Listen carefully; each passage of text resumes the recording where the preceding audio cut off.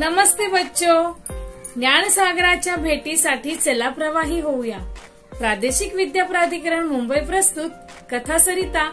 इस उपक्रम में आप सभी बच्चों का तहे दिल से स्वागत.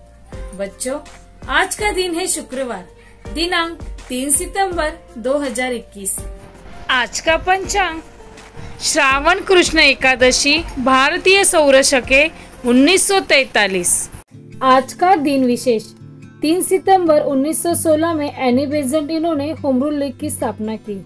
3 सितंबर 1855 में आध्यात्मिक गुरु पंत महाराज बाळकुंद्री इनका जन्मदिन। तबला, घुमट और सारंगी वादक लक्ष्मण तथा खापरू मामा पर्वतकर इनका निधन 3 सितंबर उन्नीस सौ तिरपन में हुआ। स्वामी विवेकानंद भारत के महान दार्शनिक थे, जो जिन्होंने पूरी दुनिया को हिंदुत्व और अध्यात्म का परचम लहराया। उनका मानना था, युवा किसी भी देश की वो शक्ति है जो देश को विकसित और दुनिया की ताकत बनने में सबसे महत्वपूर्ण भूमिका निभाती है। एकाग्रता का रहस्य। स्वामी विवेकानंद और जर्मनी के संस्कृत भाषा के विद्वान प्रोफेसर पाल डायसन संस्कृत साहित्य पर चर्चा कर रहे थे। किसी कारणवश प्रोफेसर साहब को उठकर बाहर जाना पड़ा। स्वामी जी पास पड़ी एक किताब उठाकर उसके पन्ने पलटने लगे। वह कविताओं का संकलन था। वे उसे पढ़ने में लीन हो गए। थोड़ी देर बाद प्रोफेसर राइसन अपना काम निपटाकर लौट आए। लेकिन स्वामी जी किताब पढ़ने में इस कदर खोए थे कि डायसन के लौटने का उन्हें पता ही नहीं चला। कुछ देर बाद डायसन को लगा कि स्वामी जी जानबूझकर उन्हें नजरअंदाज कर रहे हैं। पूरी किताब पढ़ने के बाद जब स्वामी जी ने अपनी गर्दन ऊपर उठाई तो डायसन को अपने सामने बैठकर इंतज़ार करता पाया। वे बोले, क्षमा कीजिए, मैं पढ़ रहा था, इसलिए आप कब आए इसका पता ही नहीं चला। स्वामी विवेकानंद द्वारा माफ़ी मांगने के बावजूद डायसन के मन का मलाल खत्म नहीं हुआ। उन्हें यही लगता रहा कि स्वामी जी ने जानबूझकर उनकी उपेक्षा की।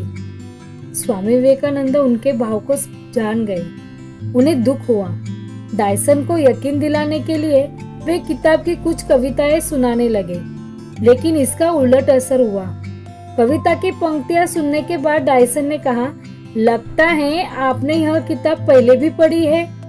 डायसन के इस तरह सोचने का कारण यह था 200 पन्नों वाली किताब कोई व्यक्ति इतने कम समय में नहीं पढ़ सकता था। वे बोले, किताब की सारी कविताएँ आधे घंटे में याद हो जाना मुमकिन नहीं। इस पर स्वामी विवेकानंद ने कहा मिस्टर डायसन, जीवन में सबसे महत्वपूर्ण है एकाग्रता। एकाग्रता जितनी अधिक होगी, आपका समय उतना ही कम लगेगा, या काम का परिणाम उतना ज़्यादा होगा। कैसी लगी कहानी? पसंद आई तो लाइक कीजिए शेयर कीजिए, अपना अभिप्राय नीचे दिए गए कमेंट्स बॉक्स में लिखना ना भूलिए। प्रादेशिक विद्या प्राधिकरण मुंबई के यूट्यूब चैनल को अब तक सब्सक्राइब नहीं किया होगा। तो सब्सक्राइब कीजिए और बेल आइकॉन पे क्लिक करना ना भूलिए।